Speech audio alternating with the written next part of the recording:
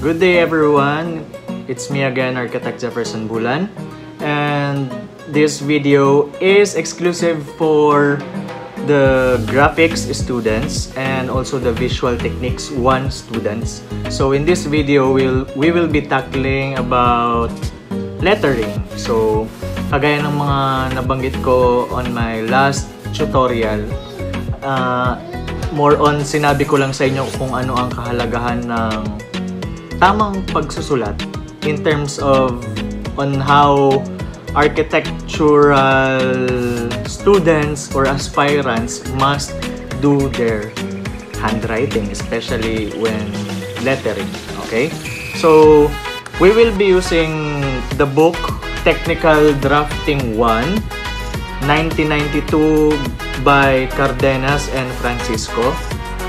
So, this book, matagal na nating ginagamit ito sa ating department, sa architecture department. So, natakel dito yung general divisions of letters. So, we have two types of gen, uh, general division ng letters. First is drawn and then another is yung written. So, what is drawn? Drawn o yung D-R-A-W-N. Kumbaga, drawing na lettering. Naalala nyo before sa mga lumang sinihan, sa mga lumang klaseng sinihan o sa mga lumang signages nung hindi pa uso yung mga with with lit o yung may mga ilaw na lit na signages, di ba? Dati, pinipaint pa. O kung dati wala pang tarpaulin, doon pa lang sa puting tela nag, nagsusulat, di ba? Tuwing may mga piyesta, may mga festival, may mga congrat may pa-congratulations si mayor, may pa-welcome, di ba? So, yung drone, sa general division of letters, yun yung mga gagawan mo muna ng outline and then pipinturahan gamit ng brush yung lettering mismo. Okay? Uh, let's say, for example, sa letter C, when we say drone, gagawin mo muna yung outline. Okay, let's say this is C. Gagawin mo muna yung outline and then yung yung painter or yung artist, kukulayan niya naman ito. Okay? So, yun yung tinatawag na drawn lettering. Now, what is the another division sa general division of lettering? Another, specified in the book, Technical Drafting 1 is yung written. What is written? Yun yung mga single stroke, di ba? Mga single stroke, A, B, So, yung normal na pagsusulat ng tao, yun yung mga written.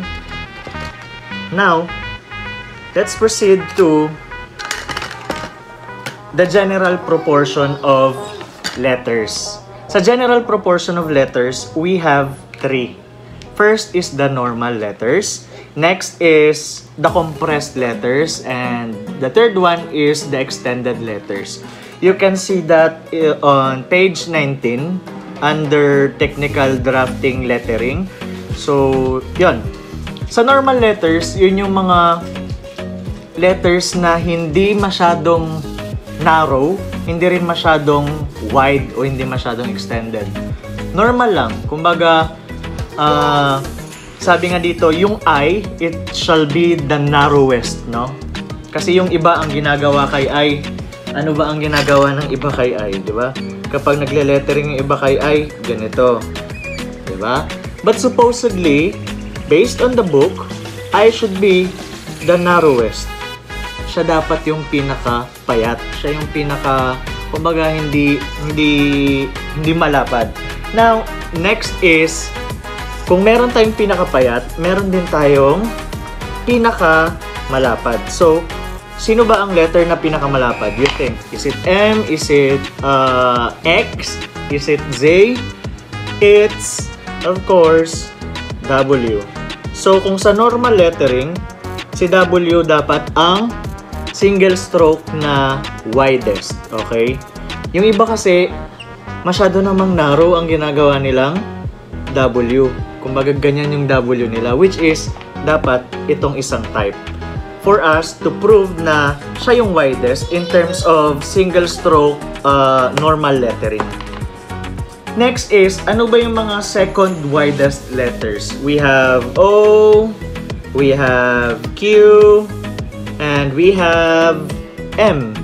So, these three letters, based kila Cardenas, ito yung tatlong letters na second widest.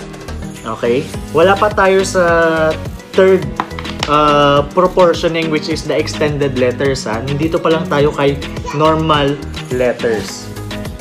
Now, next is, ano-ano ba yung mga third widest letters while others are of average width? Yun na yung sila A, C, okay? Yan na raw yung mga average. Sila-sila na yung mga average. So, okay? Kapag, again, kapag sinabi nating normal letters, yun yung hindi narrow, they are not too narrow, and they are not too wide.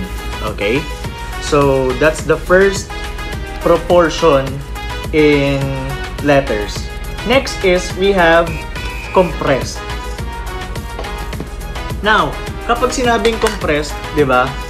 Meaning compressed, siniksik, kumbaga parang sinandwich, no? Pressed diniin. So meaning meron silang uh, katangian na ang normal letters you have to make it in a version of a compressed one. Yun lang din eh. Like for example, we have let's say this one we have A then if if you have to make a compressed letter A, then you have to have a hindi naman ganyan kanipis na, pero at least like this. The second one, the third one will do. Okay? So, these letters are narrow in width in proportion to the height and are used when space is limited. Okay? So, parang ano siya, uh, naka-italic siya. Kumbaga, hindi siya naka-normal kung kung sa Word, Microsoft, 'di ba?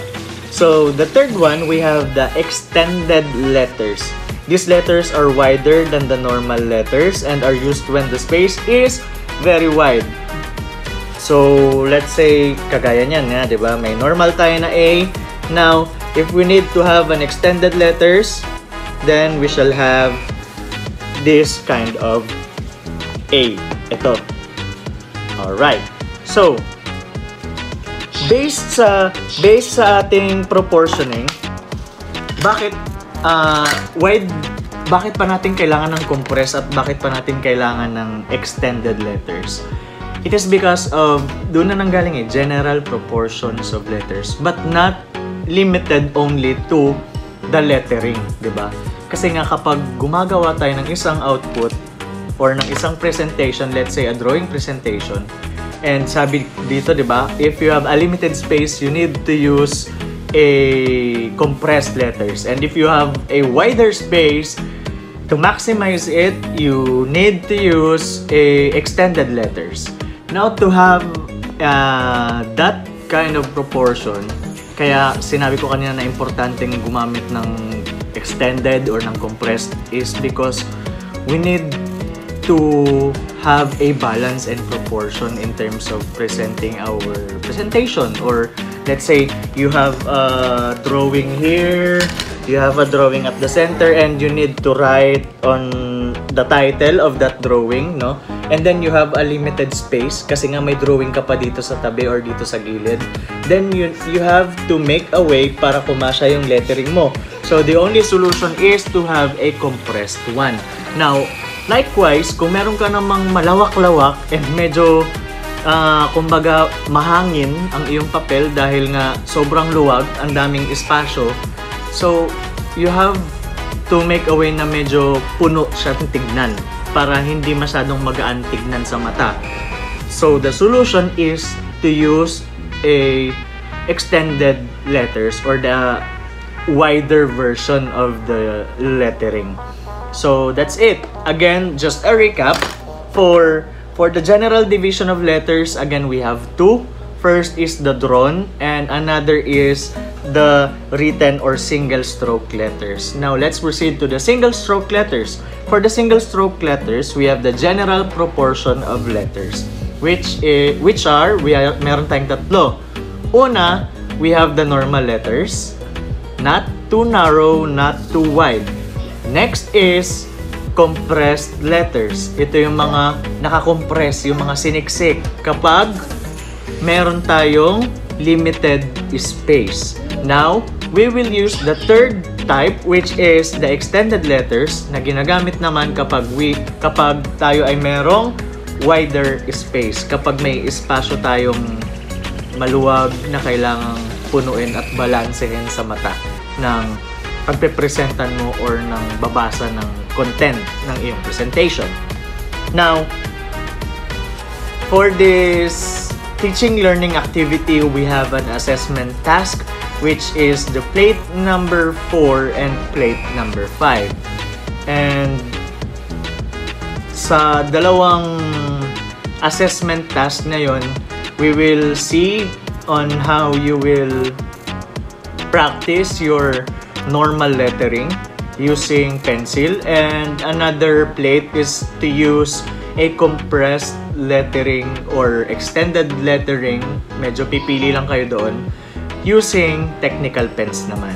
And we are trying to practice your abilities to have an inner eye for a balance and proportion in presenting your output no? So assume that your instructors are your clients and we must see your presentation as a competitive one compared to others. So that's it. I hope you've learned something and you could also read the book if you opt not to watch this video but I guess it would be better to read and watch this video para medyo mas madali sa inyo kung medyo uh, wala kayong manahirapan kayong makahanap ng copy ng book but we have attached some parts and we've created a module for you to read a summarized version of the technical drafting 1 by Cardenas and Francisco. That's all. So, thank you guys.